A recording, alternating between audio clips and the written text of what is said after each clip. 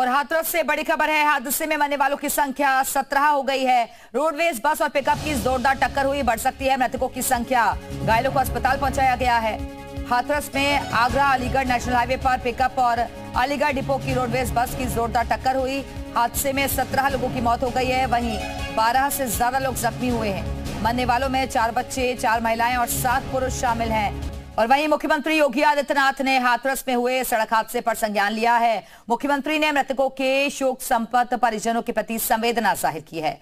मुख्यमंत्री योगी आदित्यनाथ ने घायलों को तत्काल अस्पताल पहुंचाकर जिला प्रशासन के अधिकारियों को उनके समुचित उपचार के निर्देश दिए और इसके साथ ही घायलों के शीघ्र स्वस्थ होने की भी कामना की है। सीएम योगी ने जिला प्रशासन के अधिकारियों को मौके पर पहुंचकर राहत कार्य में तेज़ी लाने के निर्देश दिए।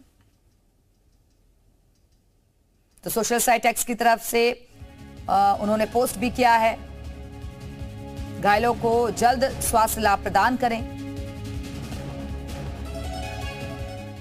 और वहीं पीएम मोदी ने भी हादसे पर दुख ज़ाहिर किया। हाथरस की घटना बहुत ही पीड़ादायक है। पीड़ित परिवारों के प्रति मेरी संवेदना ईश्वर कठिन वक्त में उन्हें संबल दे। घायलों के जल्द ठीक होने की कामना राज्य सरकार हर संभव मदद कर रही है।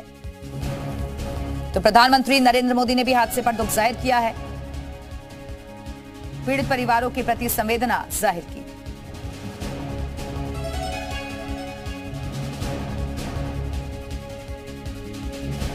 तो पीड़ित परिवारों के प्रति मेरी संवेदना है।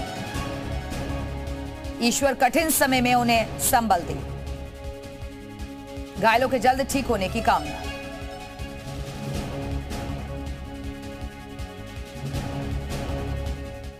और वहीं राष्ट्रपति द्रौपदी मुर्मू ने भी दुख ज़ाहिर किया है। हाथरस की घटना से दुख हुआ, ये कहा गया है। राष्ट्रपति की तरफ़ से शोक संतप परिवारों के प्रति मेरी संवेदना, घायल लोगों के जल्द ठीक होने की कामना।